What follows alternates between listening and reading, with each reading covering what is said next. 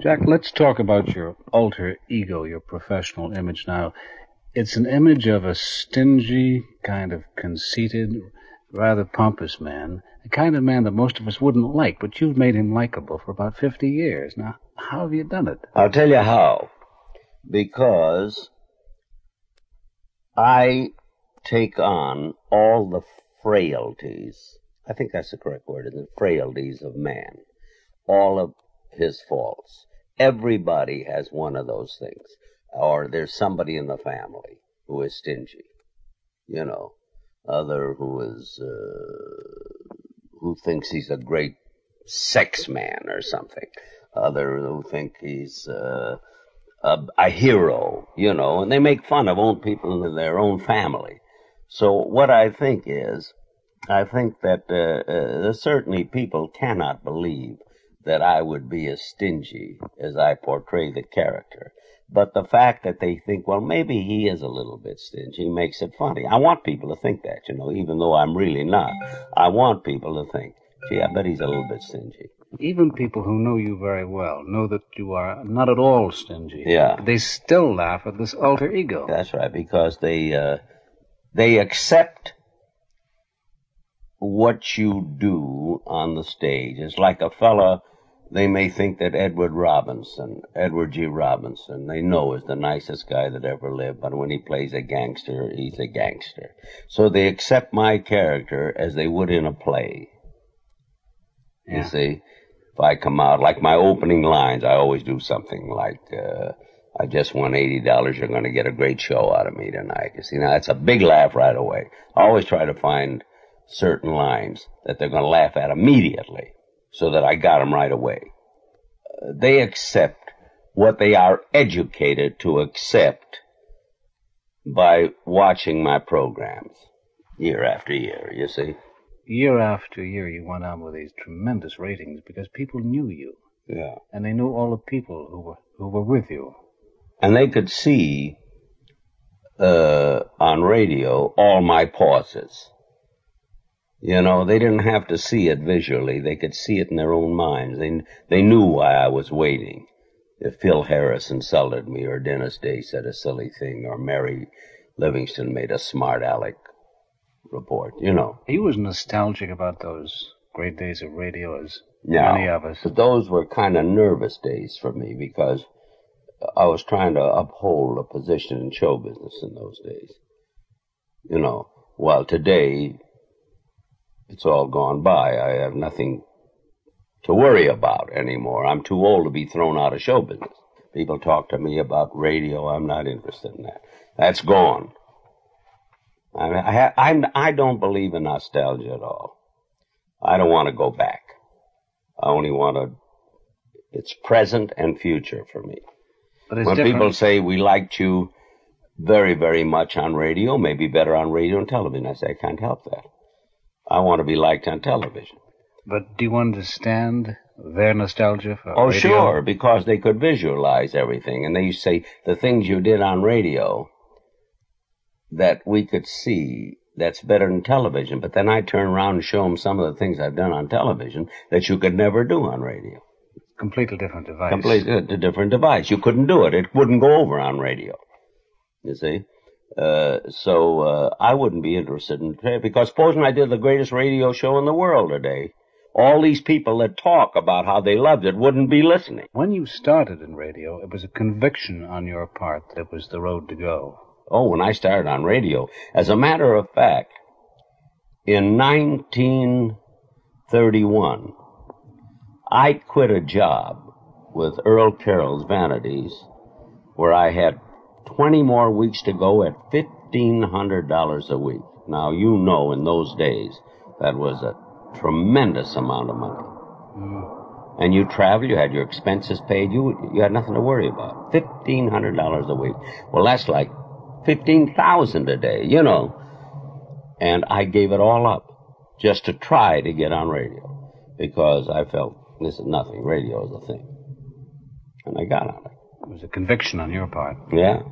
Because a lot of people in those days were saying that it, it was nothing very much. Oh, sure. I knew you have to get in. Then the minute I saw television was important, then I got into television. See, you have to get in all all the new uh, media. That would suggest that you have a fairly good business mind. Well, not a financial business mind. I've never been a good financial man in business. I've never known exactly what to do with money and all this and that. I had a good business mind as what's good for me in my work. You know? And the other way, I need an awful lot of help. So financially, uh, if I were a real good businessman financially, I would have millions and millions of dollars like some of the other actors who have. Have you ever worried about money? No, that's the trouble. I never cared about it very much, and that was a problem I had when I was making so much money with very little income tax. Yeah. I didn't know about money. I didn't know what to do with it. I didn't care. Nobody helped me, and uh, but it didn't bother me. I'm just very fortunate that that uh, after a certain number of years that they still wanted me. Otherwise, I could have had a, a problem. I haven't got the problem anymore. You believe in destiny? That some are cut out to do things and some are not? I believe in destiny only as two meanings. One, like fate, for instance. I think fate is another word for accident. I think if a person has a tremendous amount of talent and has the opportunity to show it, they're going to get someplace. That's destiny. There are some people who are very talented, probably who've never had the opportunity. I think you must want to work. You must like your work. I think you must try to learn from other people. I don't mean that anybody can take anybody else's style exactly. It's impossible. But you can learn. We all learn. Uh, we're still learning. When I do a television show, I learn something from the Laugh-In program. I learn this. I don't mean that I do things that they do, but I learn the importance of of speed, that not to to stay too long. Now we don't do anything like Laugh-In, but I because I've done the things that I do like Laugh-In, I've done way before Laugh-In ever was shown. I've done things where you have people come in and do cameos and do short bits years ago. Radio, television, everything. But what you learn from Laugh-In is action. Don't drag. And you believe that there are always new things to learn There are always new things to learn. I think people learn something from me. I learn something from somebody else. It all looks so easy for you. Has it been? Fairly easy. I think I've had it easier than most of the comedians, but it hasn't been easy as it is now. See, now I know what to prepare and what to do and what to write. I can write for Africa. I can write for London. I can write for Australia. You know, I know exactly what to do. I can write for Vegas. Hmm. But that comes from a lot of experience That's over right. a long period That's of right. time. Did you start out with the idea of being a comedian? No, I didn't know what I was going to be. I thought I was going to be a fiddler of some kind.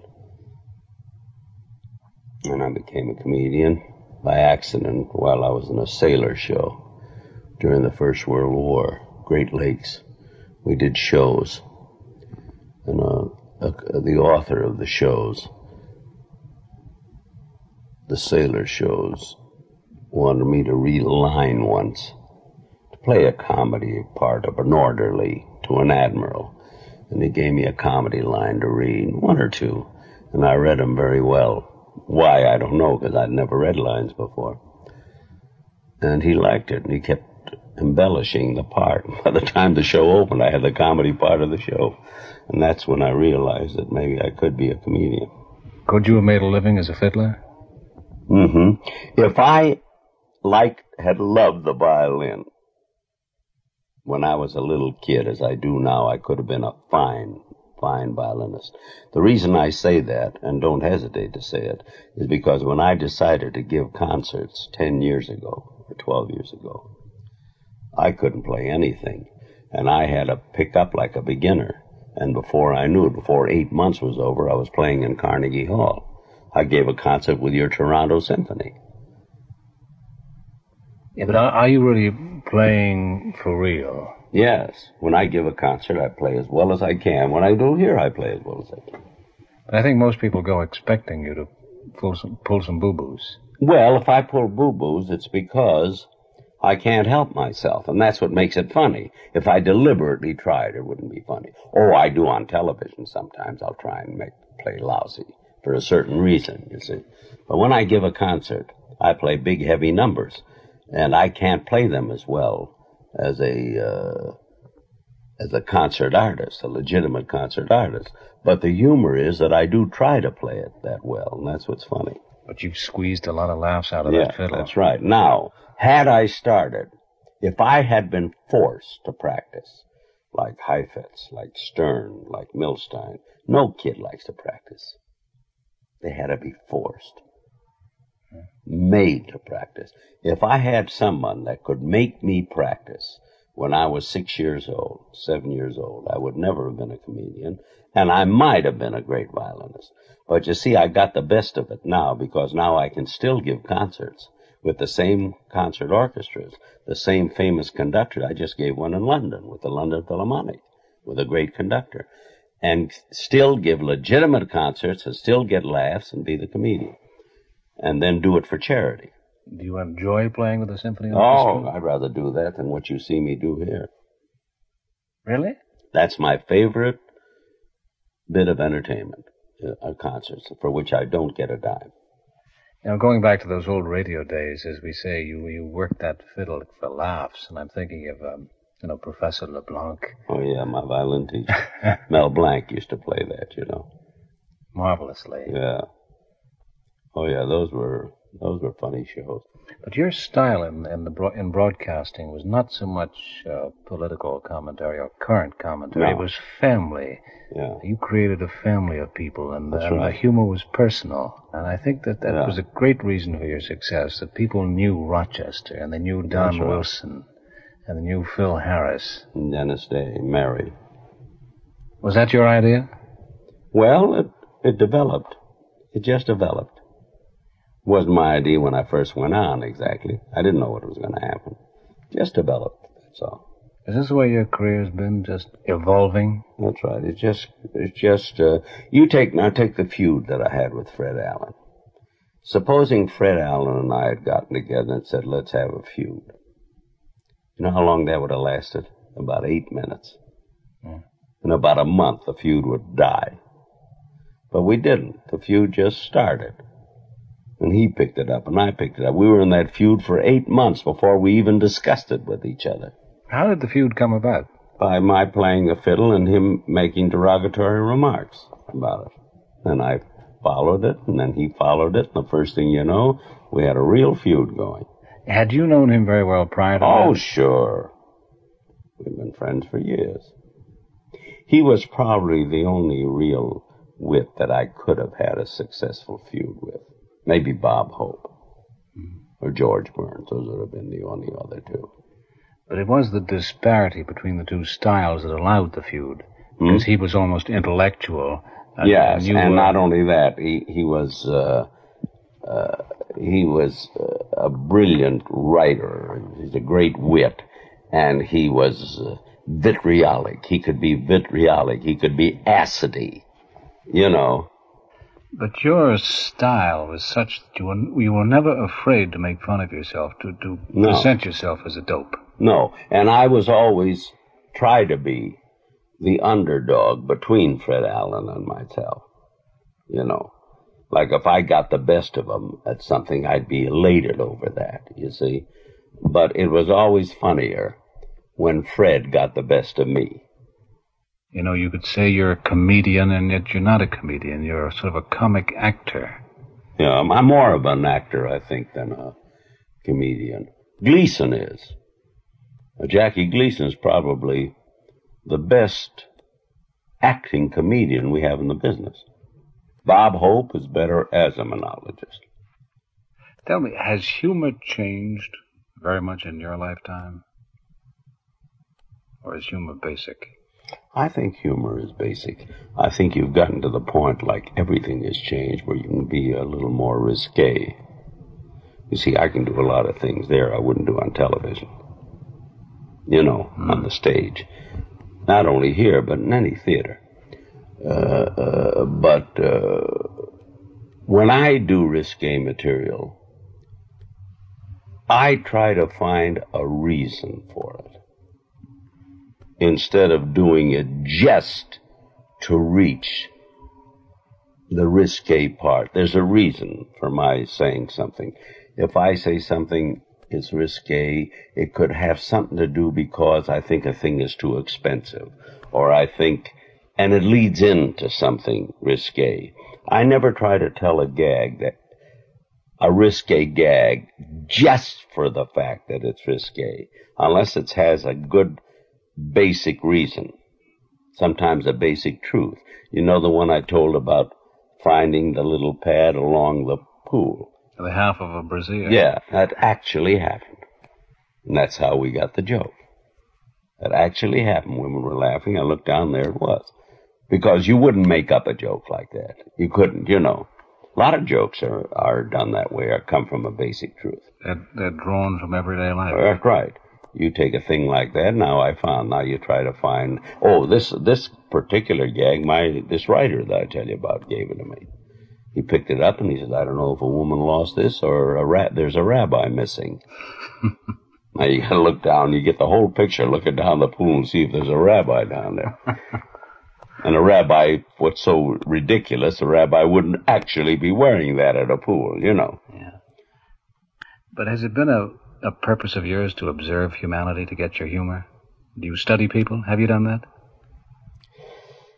I pro I probably I must have, I guess.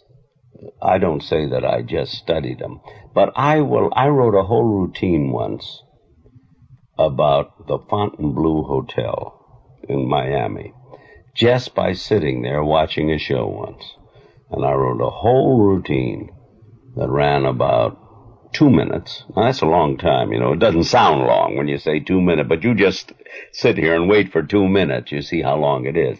All about the hotel just by sitting there, going through the lobby and watching the rooms and watching the people and everything. Observing. Observing. That's right. Tell me, what kind of a, a background did you come from? It's always interesting to ask no, a not a show that. business background at all. No, You always look for reasons for people. Yeah, there, yeah, you look for reasons, you can't figure it out. My sister would have never been in show business. I just have the one sister. My father and mother were never in show business. They liked music. My mother played piano a little bit. They would have liked. The sad part of my life has only been, you see, my father did live to see me become somebody in radio, a big star in radio. He never lived to see it in television, but he lived to see something happen. My mother never did. My mother died before I had reached any of importance. And she was disappointed because she expected me to be a violin soloist, you know. Did your father live long enough to see a high school in Waukegan named after you?